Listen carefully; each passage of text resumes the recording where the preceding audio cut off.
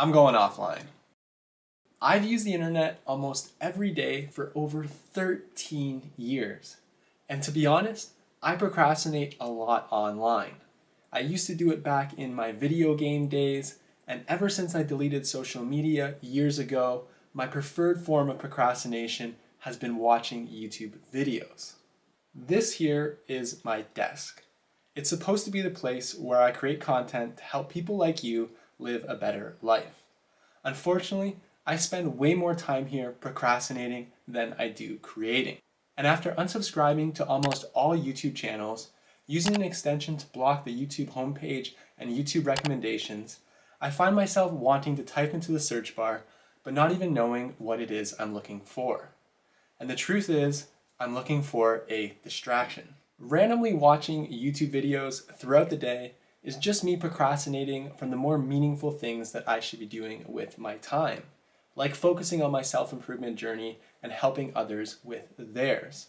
So I've decided to go offline for the next 30 days. No Googling, no online shopping, and most importantly, no watching YouTube. I'm only going to use the internet to help create better, more entertaining videos for this YouTube channel. And also a little bit of communication with friends and family and banking.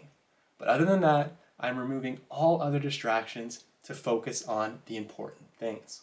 I want my devices, like my computer and my iPad, to be creative tools that support my passion and creativity, not tools of distraction. And I think taking a break from consumption to focus on creation will really help with that. In fact, I've already spent a couple days offline and I'm absolutely loving it. I feel like the weight of digital addiction has been lifted off my shoulders, and I feel like I'm living a lot more in line with my values. I think that the next 30 days are really going to help the nail in the coffin when it comes to my digital addiction.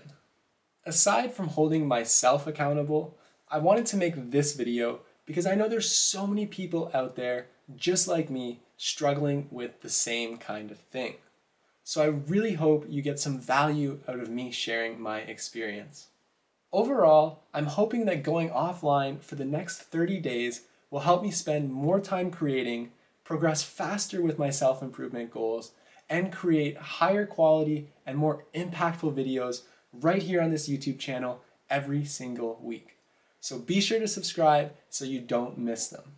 Thank you so much for watching, and I'll see you all next week with an awesome video. Take care and have a great day. Peace!